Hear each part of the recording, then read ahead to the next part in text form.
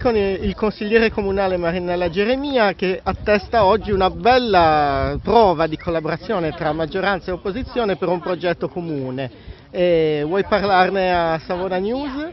Sì, io, questo senz'altro eh, è un, un bel esempio, come hai detto tu, di collaborazione. Eh, noi abbiamo appunto, è stato un percorso piuttosto lungo, però poi quello che importa è senz'altro è il risultato che abbiamo ottenuto, quindi una, una bella area qua a finale, la prima diciamo area canina a finale dove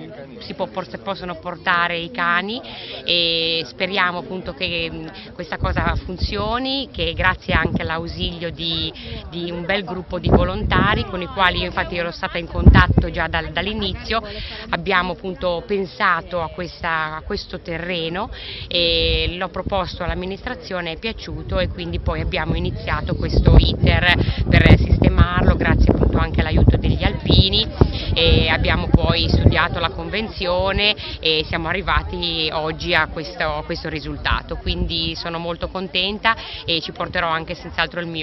il mio cane.